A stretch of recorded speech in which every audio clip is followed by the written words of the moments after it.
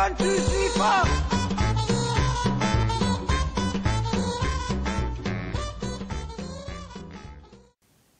Today is the first day of school for the little Welsh puppet.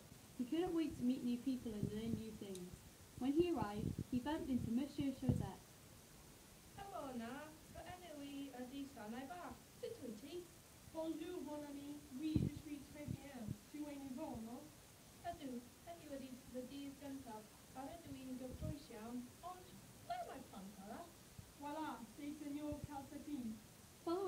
Following Monsieur Chaussette was Senor Calcifi, a friendly puppet who had been at the school for quite a while. Hola amigos, ¿cómo estás? Ydw, wyt ti'n Sbaeneg? Sí, me gusta hablar español.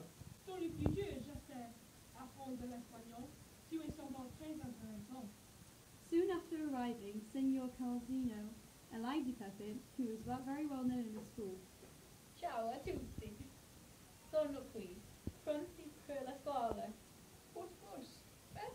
Ydy dy enw di ffrind? Signora Calvino, il mio, il mio amico. Sale con i miei amici in diversi week. the last to arrive for the first day was Mr. Calsois, known for being a very happy puppet. Helo na. Bonjour, mes amis. Hola. Ciao a tutti. Rwan, amser i dosbarth ffrindiau. So the puppets had their first day in school and they learnt from each other and realised that life is made up from, from learning from one another and that languages are the key to learning.